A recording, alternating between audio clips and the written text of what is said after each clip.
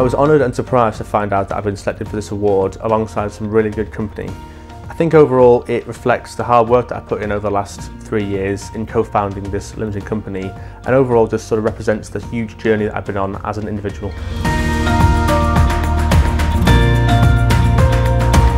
I was over the moon to be nominated for this award. The hard work that I do and the team do at Energus, well, this would just be final recognition.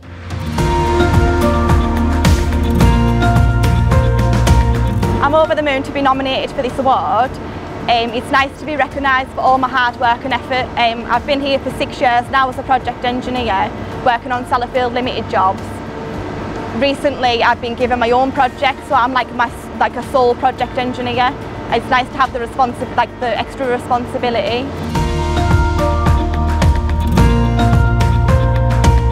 I was incredibly flattered to, to hear I've been nominated for the Rising Star Award.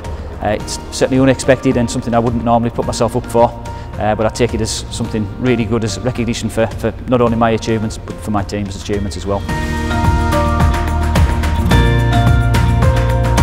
I was sitting in Africa on in a hammock scrolling through LinkedIn as you do and yeah it came up on there that I'd been shortlisted and then obviously RSM posted as well and I was just like oh my days.